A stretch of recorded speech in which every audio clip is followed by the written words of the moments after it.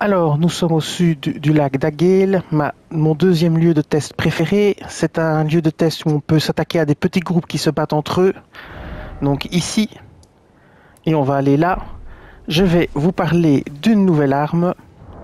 C'est la lance de la noble putréfaction. Alors je l'ai montée en plus 7.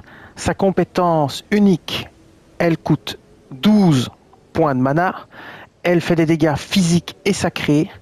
Alors ses bonus d'attributs en plus 7 sont force D, dextérité D fois D. Il faut 16 en force, 16 en dextérité et 14 en foi pour la porter. Alors sa compétence spéciale, c'est phalange sacrée. Vous entonnez une incantation secrète pour faire surgir face à vous une rangée de lances dorées, ce qui fait une espèce d'attaque de zone horizontale. Je vais vous montrer ça.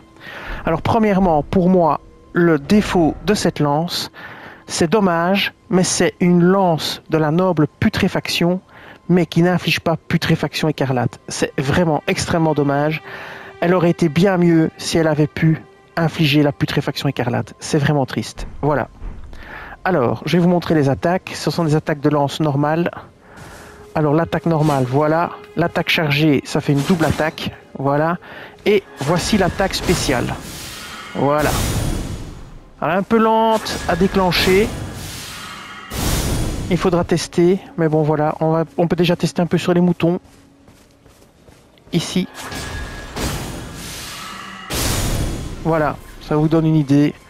On va aller attaquer les petits groupes, voir un petit peu ce que ça vaut sur les petits groupes là-bas.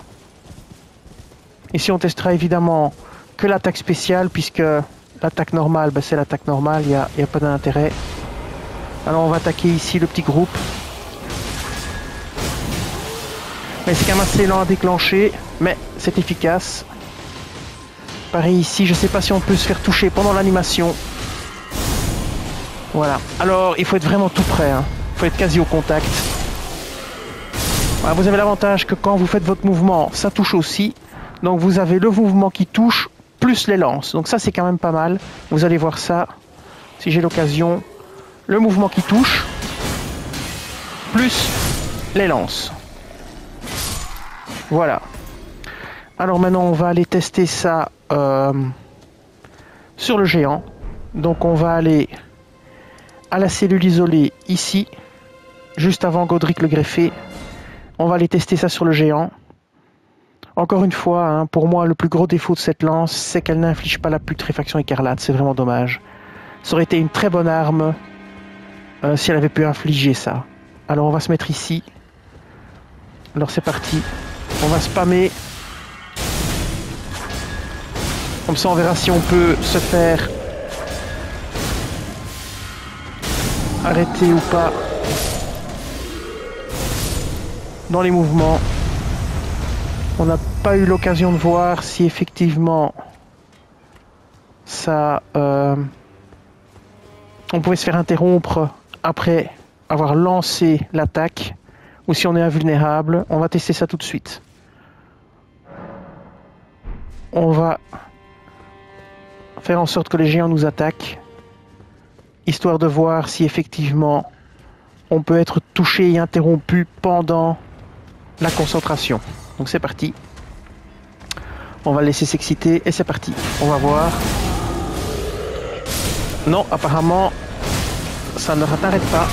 Ah si, mais ça le déclenche quand même. On est arrêté. Ah, ici pas. Ouais, vous pouvez être interrompu. Ça dépend dans quelle phase vous êtes. Voilà. Même si vous êtes interrompu, les lances se lancent quand même. Voilà.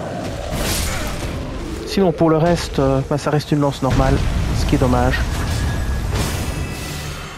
Voilà, voilà.